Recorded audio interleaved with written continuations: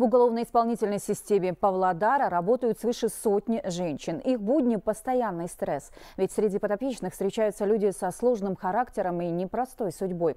Найти общий язык и поддержать заключенных старается фтизиатр тюремного врачебного отделения Гульнур Сейтахметова. О ней история наших корреспондентов.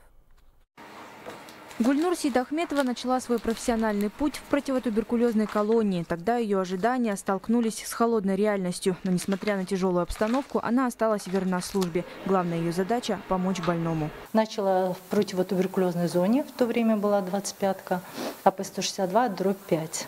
Там свою трудовую деятельность начала. Потом ее закрыли, нас расформировали по другим колониям. Э, практически была во всех колониях города Павлодар. Стараюсь относиться с ответственностью, потому что как бы всегда считала, что здоровье – это самое главное, и врач должен быть от Бога. В уголовно-исполнительной системе Гульнур Сидахметова уже 15 лет. Сегодня она в звании майора. Говорит, что в колониях приходится не только лечить организм, но и душу человека. Ведь у каждого пребывающего здесь своя непростая история. Всегда говорят, не переживайте, это все временно, это все скоро закончится. Скоро вы все пойдете домой все равно морально не поддерживают, а моральная поддержка, она очень нужна, тем более в этих стенах, когда так тяжело сидеть. Холодные стены, кованые железные двери. Сейчас здесь насчитывается 350 человек, ожидающих решения суда. В день на прием к врачу записывается не менее 50 осужденных, а во время пандемии работа стала особенно напряженной.